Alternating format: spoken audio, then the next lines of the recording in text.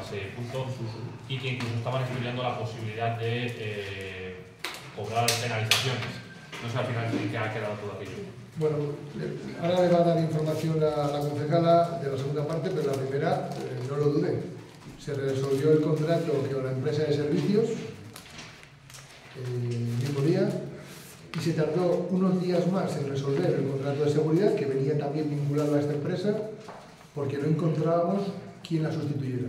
Pero el mismo día que, bueno, no, miento, antes, antes de que se encontrara ya la empresa que retomó los servicios de seguridad, rescindimos el contrato de, vigilancia y fue a través de policía local quien, se hacía la labor de vigilancia pasando por el paseo de Navidad frecuentemente durante la noche.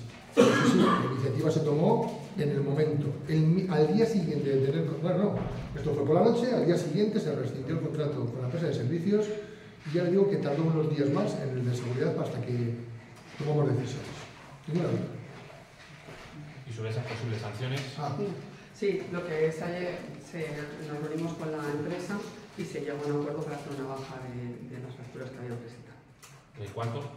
No lo recuerdo ahora mismo, no quiero dar información porque no lo recuerdo.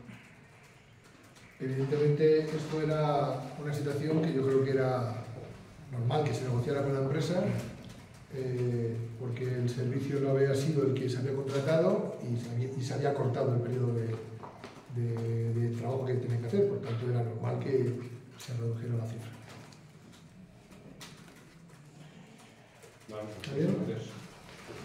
Muchas gracias.